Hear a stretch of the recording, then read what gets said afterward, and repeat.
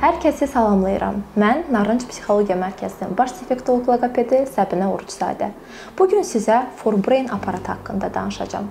Bilirsiniz ki, insanın zehni inkişaf prosesində nitqin çox böyük əhəmiyyəti var və məhz buna görə də illərdir ki, nitqi təkmilləşdirmək üçün müxtəlif növ texnologiya avadanlıqlar təchiz olunur. Onlardan biri və ən əsası forebrain aparatıdır. Forebrain aparatına ikinci qulaq, elektron qulaq da deyilir. Amma hərfi tərcüməsi isə beyin üçün deməkdir. Nəyə görə beyin üçün? Çünki beynimiz ömür boyu oxumaq, öyrənmək və uyğunlaşmaq kimi qabiliyyətlərə malikdir. Bəs o zaman ona niyə əlavə bir stimul verməyək? deyə düşünülüb və cavabında isə forebrain aparatı təchiz olunub. Gəlin cihazla yaxından tanış olaq. Gördüyünüz bu cihaz forebrain aparatıdır. Onun uzun olan bu hissəsi, çıxıntısı mikrofonu, iki mavi sümük keçirici qulaqlığı və bir dinamik filtr var.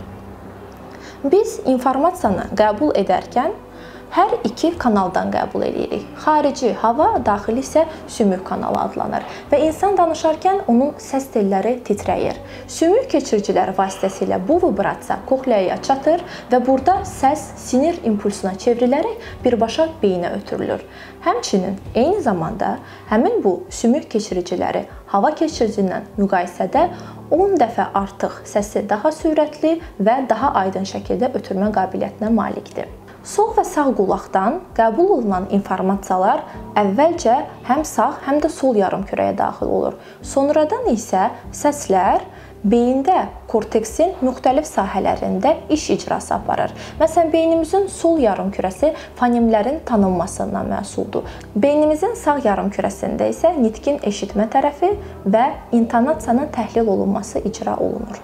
Cihazın dinamik filtr hissəsi isə müəyyən səs tezliklərini dəyişərək beynimizə müsbət təsir göstərir və bunun qabiliyyəti artıq beynimizdə nitq, nitq yaddaşı, sensor məlumatı emal etmə texnikası çox e, sürətli olaraq inkişaf etməyə başlayır. Forbrain çoxfunksiyalı aparatdır və aşağıdakı funksiyaları yerinə yetirir.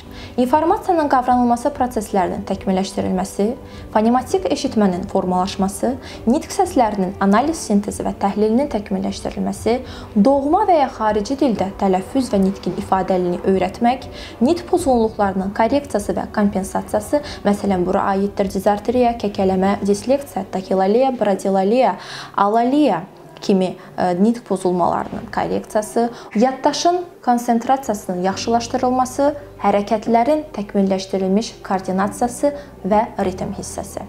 Forbrain aparatından nə zaman istifadə etmək olar? Əgər uşağın artıq nitqi aktivləşibsə, Nitqində hər hansı bir aktiv tanıması, sözlər tələffüz etmə bacarığı varsa, o zaman artıq siz Forbrain aparatı üçün uyğunsuz və bununla bağlı seanslara başlaya bilərsiniz. Forbrain aparatı əsasən 3 yaşdan sonra üçün nəzərdə tutulub, çünki uşaqların nitq fəaliyyətinin aktivləşməsi məhz 3 yaşdan sonra götürülür. Forbrain aparatı ilə statistik olaraq müsbət nəticələr verdiyimiz üçün bizim üçün köhnə Sizin üçün isə yeni bir informasiyadır.